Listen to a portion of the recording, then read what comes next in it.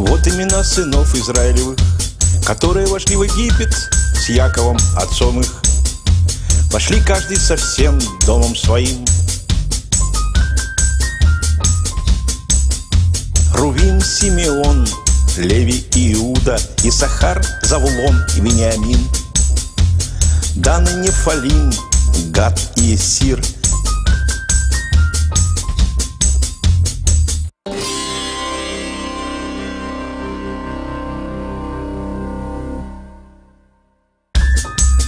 всех же душ, происшедших из чресл Якова. Было 75, и Иосиф был уже в Египте. И умер Иосиф, и все братья его, и весь род их. А сыны Израилевы расплодились и размножились. И возросли, и усилились чрезвычайно, и наполнилась ими земля та.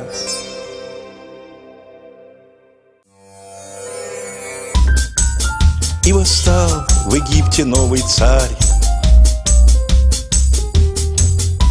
который не знал Иосифа и сказал народу своему – вот народ сынов Израилевых, многочисленный, сильнее нас.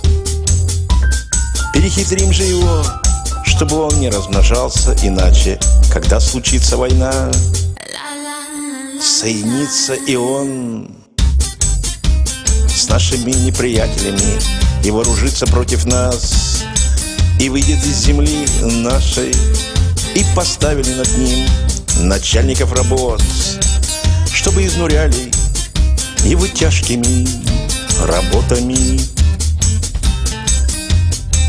И он поставил фараону Пифом и Рамсес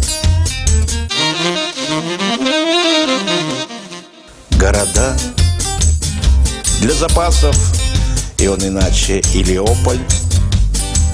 Но чем более изнуряли его, тем более он умножался. И теперь более возрастал, так что египтяне опасались сынов Израилевых. И потому египтяне с жестокостью принуждали сынов Израилевых к работам. И делали жизнь их горькою от тяжкой работы над глиною и кирпичами и от всякой работы полевой, и от всякой работы, которые принуждали их жестокостью.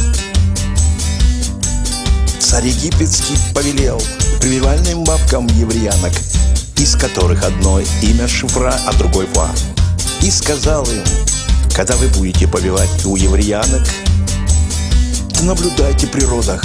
Если будет сын, то умершвляйте его. А если дочь, то путь живет. Но повивальные бабки боялись Бога и не делали так. Как говорил им царь египетский, вставляли детей в живых. Царь египетский призвал повивальных бабок и сказал им, для чего вы делаете такое дело? Что оставляете детей в живых. Повивальные бабки сказали фараону, еврейские женщины не так, как египетские. Они здоровы, и прежде нежели придет к ним повивальная бабка, они уже рождают. За сие Бог делал добро повивальным бабкам, а народ умножался и весьма усиливался и так как повивальные бабки боялись Бога, то он устроял домы их. Тогда фараон всему народу своему повелел, говоря, «Всякого новорожденного у евреев сына бросайте в реку, а всякую дочь оставляйте в живых».